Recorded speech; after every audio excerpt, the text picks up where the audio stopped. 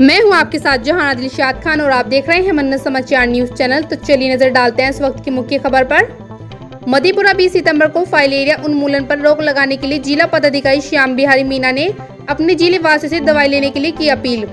देखिए वीडियो में क्या कुछ कह रही है मधेपुरा जिला पदाधिकारी श्याम बिहारी मीना आपका जिला पदाधिकारी बोल रहा हूँ। 20 सितंबर को 20 सितंबर को फाइलेरिया के उन्मूलन के लिए आपको दवाई खिलाई जाएगी।